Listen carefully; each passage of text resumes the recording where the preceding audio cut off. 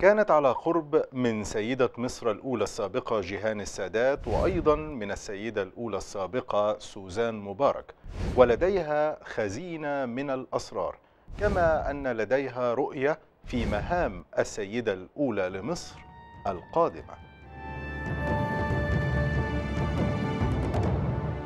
أستاذة ناهد المنشاوي حضرتك اتعاملتي مع السيدة ذات ومع السيدة سوزان مبارك مم. إزاي كان الاختلاف؟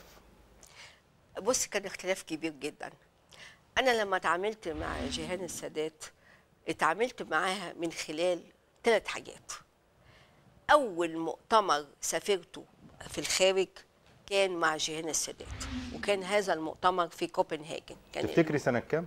آه سنة 85 آه. فاكره كويس قوي ده أول مرة أسافر في حياتي 85 كان مع جيهان السادات؟ 80 لا 80 80 آه. 80 80 مم. 80 مع جيهان السادات آه. آه، سافرت كوبنهاجن وشفت جيهان السادات بتعاملنا إزاي وبعدين وشفت إزاي هي آه، قادرة على إنها أي ظرف تقابله إنها ممكن تواجهه وممكن إنها تبقى زي ما هي صلبة مع روحها الجميله جدا في التعامل مع الصحفيين والصحفيات. آه، كانت بتعاملنا كاننا كأننا من أسرتها. تسأل على أي حد فينا عنده مشكلة عنده حاجة عايز خدمة معينة عايز يتعالج عايز يروح مستشفى عايز أي حاجة. وحصلت لكذا زميلة صحفية آه، آه، علاج لها. وكانت في نفس الوقت بتجتمع بينا جلسة عائلية. يعني أنا فاكرة كويس قوي مرة رحنا لها كانت هي رئيسة للمجلس الأعلى لتنظيم الأسرة ورحنا لها في كابينتها في المعمورة. قعدت تدردش معانا وتتأسف إنها جت متأخرة شوية عشان ما نامتش طول الليل عشان حفيدها كان عيان وجابت الدكتور ممدوح جبر وهي كانت بتتبسط معانا. يعني آه، الحقيقة آه، زي ما جواجي قال إن جيان السادات كانت بنت بلد. يعني بتعرف إزاي تكسب قلوب الناس. وبرغم إنها كانت جميلة جدا لكن الستات اللي كانت بتجتمع معاهم اللي هم في الم- المصريات ما كانوش بيحسوا بغيرة منها. يعني انت عارف كويس قوي لما تكون واحدة حلوة قوي آه. فممكن الست تتضايق منها ومش آه، آه. وخصوصا لما تبقى السيدة الأولى. نعم. وهكذا جيهان علمتنا. أنا اتعلمت منها البساطة الوضوح إنها ما بتذمش في حد. ما بتسيطرش على ال- الستات الموجودين. أي واحدة من حقها تتكلم قدامها ما تتكلمش بحساب. يعني من حقها أي حد يتكلم قدامها. تمام. فالحقيقة جيانا السادات وبين لها موقف معايا في كوبنهاجن.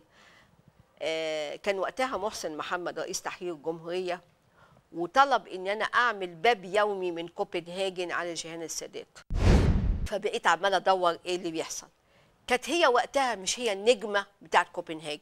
كان النجمة مين؟ نوال السعداوي وكانت واحدة خطفت طيارة فلسطينية اسمها ليلى خالد.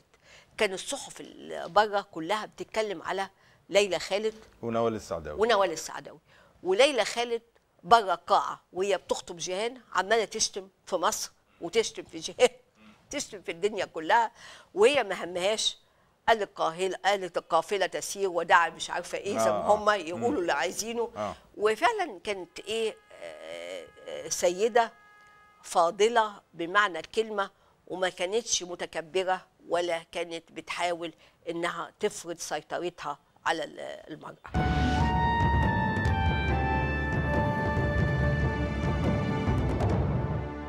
سوزان مبارك في البداية لما بدأت تظهر كانت فعلا كانت جيدة جدا وكانت بتحاول إنها تقف وتسمع الناس واحدة واحدة وبتقول إيه وبتعمل إيه في البداية. ولكن إيه اللي حصل؟ المحيطين بسوزان مبارك نفقوها بشكل كبير جدا لدرجة إن هم اعتبر هي بقت أوامرها بتصدرها يوميا. يوميا الأوامر الفلانة فلانية تيجي فلانة كل حاجة تتدخل فيها في المرأة.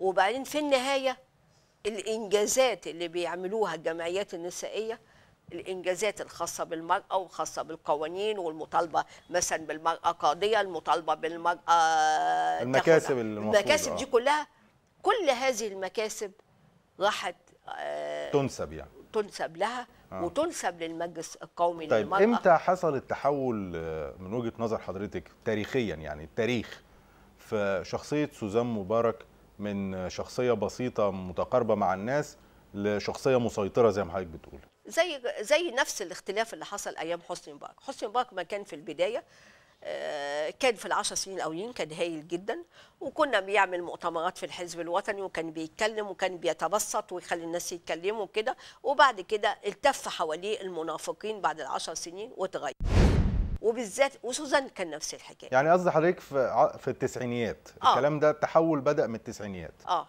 في التسعينيات أو وخصوصا لا وبعد التسعينيات أكتر التحول بقى زاد العنف زاد والأسلوب زاد لما بدأ مشروع التوريث مشروع التوريث ده خلاهم ما يبصوش أي حاجة قدامهم. ما يفكروش في أي حاجة. ده يعني بدأ من 2000 مثلا؟ آه كده؟ بدأ من 2000 آه، لكن آه. قبل كده هي اتغيرت. لما لقت الأضواء عليها وال... اتغيرت. يعني هقول لك حاجة حصلت حادثة غريبة جدا. إحنا كنا في الأمم المتحدة كنا بنحضر اجتماع آه، أمين عام الأمم المتحدة ودخلنا ال- المكان الاجتماع وكانت سوزان مبارك جاية بعدها. ودخلنا الاجتماع وقعدنا ده؟ سنة 2002 آه. ودخلنا الاجتماع أو 2003 كان مؤتمرات بقى اللي هو آه، بكين plus five وبكي وبعد مؤتمرات بكين والعقد الطفولة والحاجات دي. دخلنا وقعدنا ومستنيينها وهي دخلت. أول ما دخلت كلمت الناس طر- طردتنا بره الأوضة. قال مفيش صحفيين يقعدوا. وقعدت هي واحدة. عشان بعد كده اللي بيحصل هما بقى بيقولوا اللي هم عايزين. اللي عايزينه المستشارة الصحفية بتاعتها تخرج من الاجتماع تقول اللي حصل زي ما هم عايزين. فما قعدوناش في الاجتماع. آه, آه. بالرغم كان أمين عام الامم المتحدة وقتها كان موافق إن إحنا نقعد.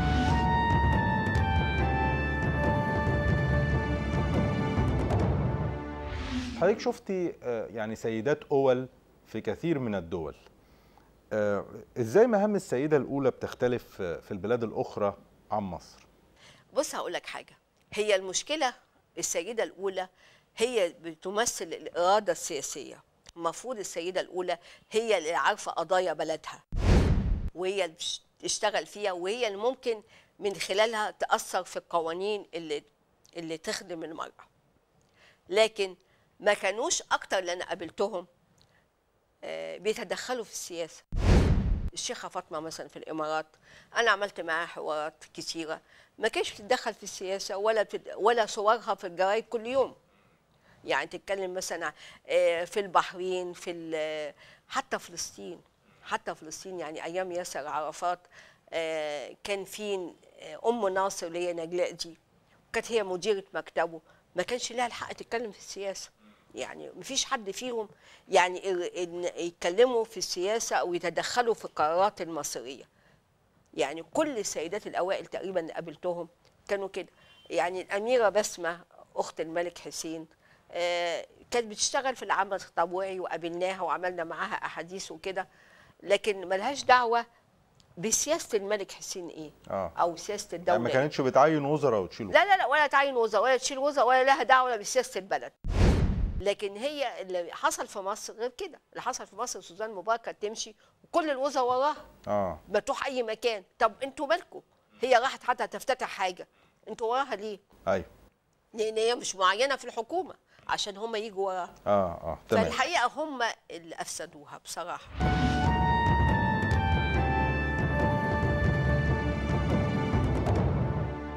حضرتك بتري مهام سيدة مصر الأولى القادمة إيه؟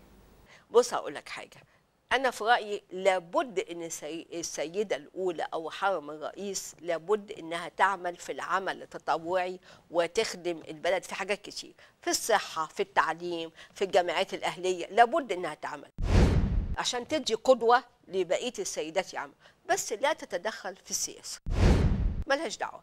يتعين مين وزير يتعين مين رئيس وزارة تعين مين ملهاش دعوة بالحاجات دي. ما ما نجيبش بعض معين. يعني كانت أنا فاكرة كويس قوي هي كانت بتفرض عمداء الكليات وعميده الكلية وتقول لازم تبقى ست وهي اللي جابت أكثر من عميدة للكلية وجابت أكثر من واحدة رئيسة جامعة هي اللي جابتهم.